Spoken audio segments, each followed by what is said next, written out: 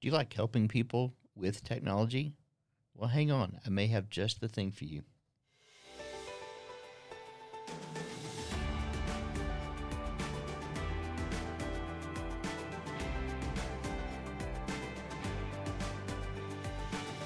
Welcome to 10 Minute Tech Tips, an HCTC podcast of topics that I think you just might like.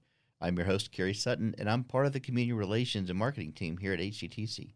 I welcome your comments, so feel free to reach out to me at podcast at hctc.net or give me a call, 830 367 5333. I love hearing your ideas, and maybe there's something that we can use on a future show.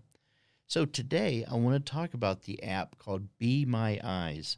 And it, if if you want to check it out online without downloading the app, it's that's their website, just B B E my M Y, and then eyes E Y E S dot com and you can read all about this app, which allows you to use your cell phone to um, take a video call from a blind or a low vision person and then help them using their camera to see what they're seeing and then tell them basically what they're seeing.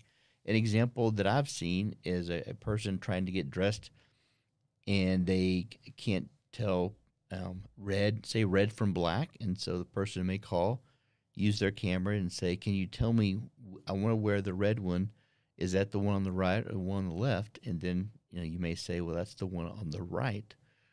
And and then that that helps them out. Maybe a person is trying to navigate a bus schedule, and they're they're reading the schedule uh, printed on the board, and they can't they can't uh, decipher which bus stop is which, and so you simply could tell them which one which one it is, or I don't know, maybe telling time. I haven't done this, so all the examples that I really know is what I've I've seen people post either on their corporate website or you know on YouTube, which I've I've, I've looked at several on YouTube.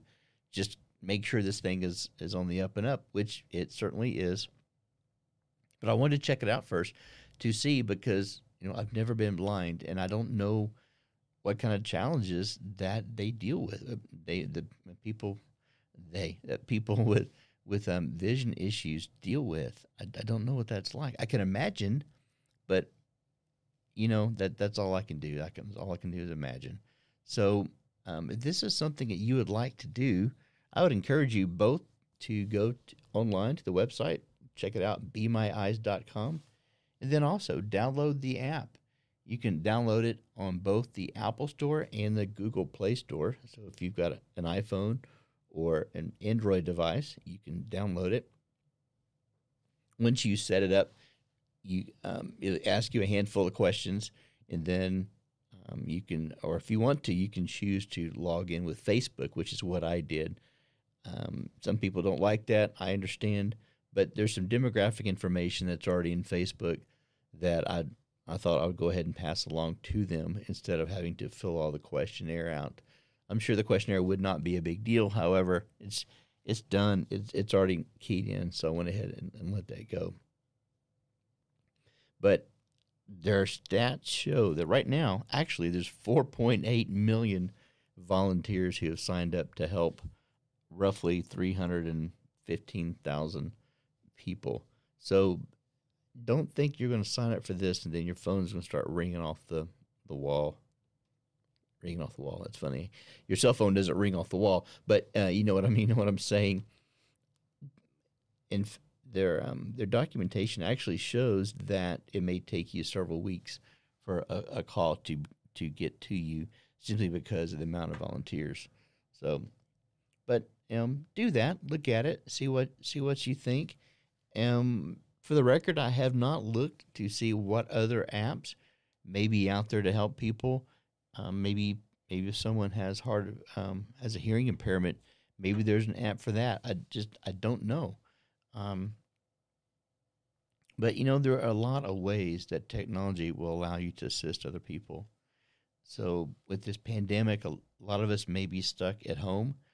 Um, maybe a doctor said don't go out, or maybe you know we, we're afraid to go out. You know whatever the case may be.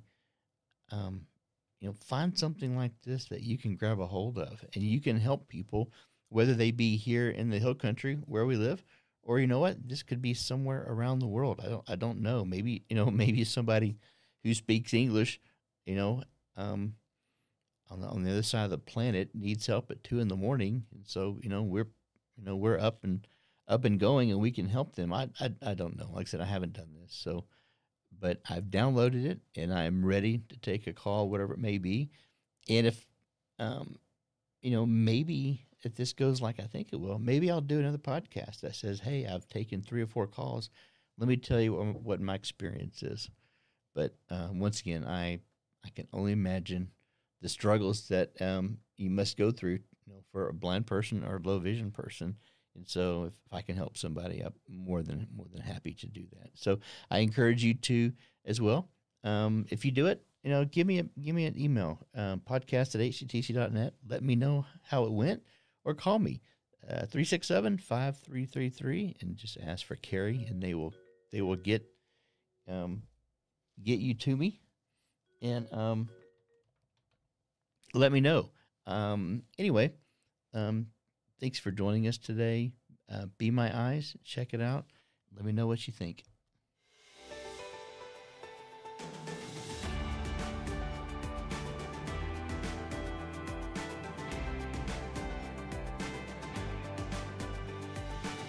This podcast should not be copied, distributed, published, or reproduced, either in whole or in part, without the express written consent of HCTC.